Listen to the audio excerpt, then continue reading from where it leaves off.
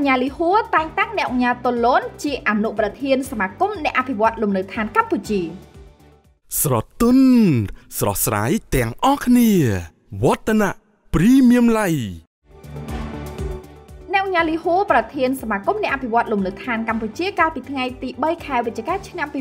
2023បានចេញសេចក្តីសម្រេចផ្លាស់ប្ដូរនិងតែងតាំងអ្នកញ៉ាតុលូនពីសមាជិកទៅជាអនុប្រធានសមាគមអ្នកអភិវឌ្ឍលំនៅឋានកម្ពុជា អ្នកញ៉ាតុលូនត្រូវបានគេស្គាល់ថាជាស្ថាបនិកបុរីលូនស៊ីធីដែលជាគម្រោងអភិវឌ្ឍលំនៅឋានដ៏ធំមួយនៅស្រុកព្រៃនប់ខេត្តព្រះសីហនុលើផ្ទៃដី66ហិកតាក្រោមទុនវិនិយោគរហូតដល់ជាង100លានដុល្លារអាមេរិកលោកត្រូវបានព្រះមហាក្សត្រត្រាស់បង្គាប់ផ្ដល់ក្រមងារជាអ្នកអង្គការកាលពីថ្ងៃទី18ខែសីហាឆ្នាំ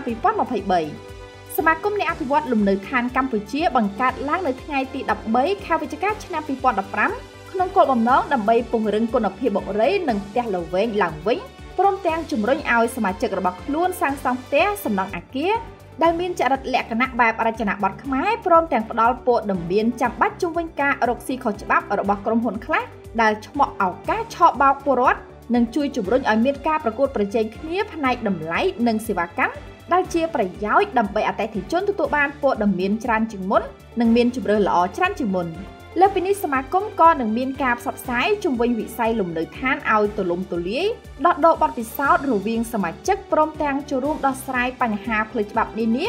ជូនដល់អតិថិជនរបស់ខ្លួនឲ្យបានច្រើនជាងមុនផងដែរស្រទន់ស្រស់ស្រាយទាំងអស់គ្នាវឌ្ឍនៈព្រីមៀមឡៃ